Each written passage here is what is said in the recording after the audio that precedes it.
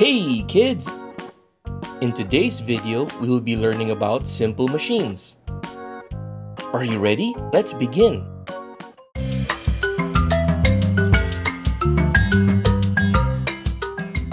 What are simple machines? Simple machines are basic mechanical devices that make work easier by changing the force applied to an object. They are the building blocks of more complex machines and are fundamental to understanding how forces and motion work in the physical world. Let's go over the types of simple machines. Lever A lever is a rigid bar that pivots on a fixed point called a fulcrum.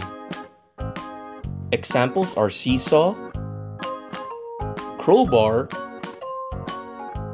and a pair of scissors. Wheel and axle.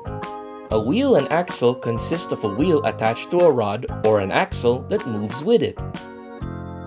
Examples are car wheels, bicycle wheels,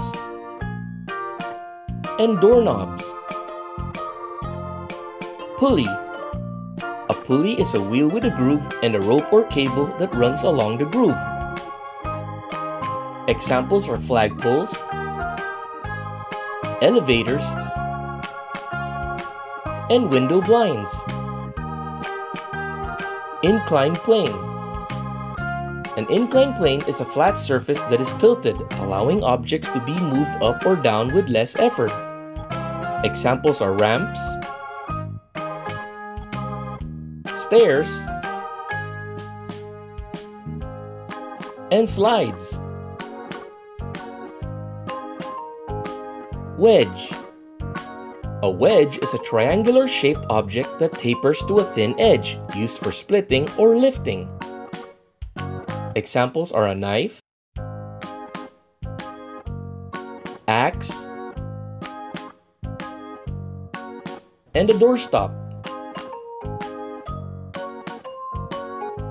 Screw a screw is an inclined plane wrapped around a cylindrical post, creating a helical structure. Examples are screws, bolts,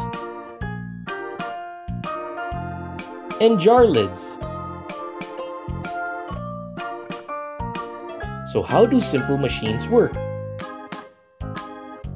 Mechanical advantage. Simple machines provide a mechanical advantage, which means they allow you to use less force to accomplish a task. Efficiency While simple machines make work easier, they are not 100% efficient. Some of the input energy is lost due to factors like friction. Engineers work to minimize these losses in more complex machines. Let's try an experiment.